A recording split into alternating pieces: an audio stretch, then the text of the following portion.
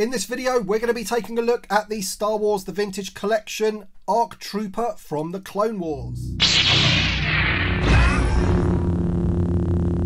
Hi there Star Wars collectors and welcome to another Bossk's Bounty video and welcome to my review of the Star Wars The Vintage Collection ARC Trooper on the Clone Wars card.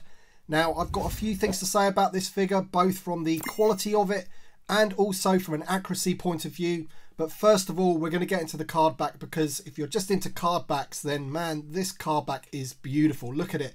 Look at the blue. It just pops really, really nicely.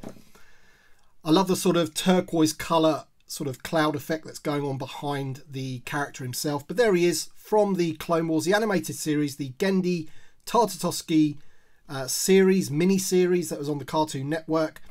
And there he is looking pretty awesome. I love the image that they've chosen there which does have its issues with what you get with the figure, which we'll come on to in a minute. But the figure looks great in the bubble. He really does pop on that card. I mean, this is definitely my favourite from the six. I much prefer this one to the red one, although the uh, the red figure originally VC54 was a great figure. I love the blue accents on this figure. As I mentioned, we are going to be taking a look at the figure in more detail, and I do have my complaints about it. But first of all, let's have a look at the back of the card. He is VC 212 in the line, and again, some decent imagery at the top of the card there with the Vintage Collection logo, 50th anniversary logo with the timeline, and once again, the 50th anniversary logo on there, which is a bit annoying for two reasons. One, because I don't know, I, I kind of got used to it, but it being there then moves this down to here because that would usually be up there. And, you know, this being near the Kenner logo at the bottom, I'm not too sure about that. But um, all in all, a great looking card back. I mean, the colours just really, really do pop. So, anyway, that's enough for the card back. Let's open the figure up and check him out. All right, then, so here is the figure outside of the packaging, the blue ARC Trooper. Um, I believe he may even be called ARC Trooper Alpha. So somebody in the comments down below will have to confirm that for me. But you're probably wondering why he's holding this blaster or attempting to hold this blaster rather than the blaster pistols that are included in the packaging. And that is half the problem with this figure. Unfortunately, it's inaccurate to the source material in that the blue ARC Troopers tended to use these blaster rifles and it was the Captain Fordo, the red ARC Trooper captain that use these and apparently these are his special like customized versions. So they are you know supposed to be only for Captain Fordo. And that's half the problem that we have the figure in that it is a repaint of the red ARC Trooper which is a problem because in the show this particular character didn't use the uh, pistols therefore he didn't need the holsters. And if you look at the picture on the packaging once again he doesn't have those holsters. They're sort of these more, they're more like ammo pouches on his belt.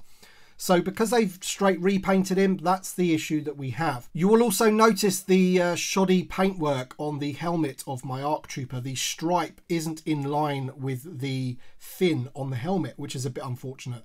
The red one that I had didn't have so much of a problem, but you can really see even like the mouth piece there, the paint is not aligned, which is really unfortunate. If I had two of these, I would have made sure that I would have opened the one with the better paint. But because I've only got the one for review, this is all I can do for you. But taking all that away from it, we do know that it's using the VC45 Clone Trooper body.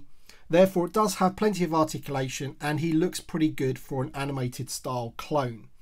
You've got to admit that the blue on him looks amazing. It really, really does pop.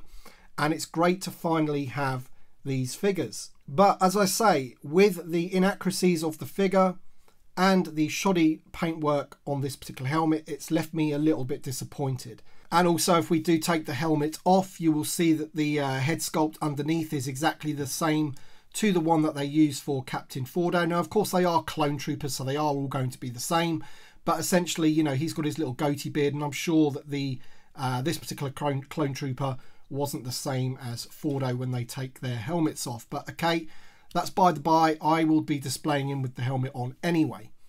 Now, I'm sure lots of you have got these blasters in your supplies from various figures over the years, especially the ones where you got the sort of um, little locker room of extra weapons. That's probably where I got that one from. But the problem is it doesn't really fit in this figure's hands because this figure is designed to hold these which have a completely different uh, stock on them and they're a little bit thicker. And also the hands are designed with trigger fingers so it doesn't really fit for him to hold this one in both hands. Sorry about the focus there but so you know there's a lot wrong with this figure but at the moment i'm just quite pleased that we have a blue phase one arc trooper to go along with captain fordo because you know without the problem with the helmet there if it is a better painted helmet this figure would look absolutely awesome i love the soft goods kama of course that is perfect. So there you go. Have another good look at the figure. I say there's the inaccurate hol holsters. That's a bit of a problem, really. I know some customizers will probably, you know, chop those off and maybe put something else else on there for the pouches, but it's a bit of a shame, really. But as we know of all these 50th anniversary figures, they tend to be uh, repaints for the uh, Walmart exclusives. So that's a bit of a shame. But as I say, taking all that away, as I said, it is still good to have the blue ARC Trooper in the ranks. And I've ordered a bunch of these. I'm hoping the paint job will be better on my other ones because I do want to open maybe three, four, five of these to go with Captain Fordo and then hopefully get my hands on one of those uh, Tiger Shark gunships which are going for extortionate prices on the secondary market. So if anyone wants to sell me one of those, please get in touch. There you go then guys that is the blue ARC Trooper from the Clone Wars in the Vintage Collection. Thank you so much for watching. Thank you to my Patreons and members. As per usual, your support is greatly appreciated. Drop a like down below if you've enjoyed the video, and we shall see you on the next one.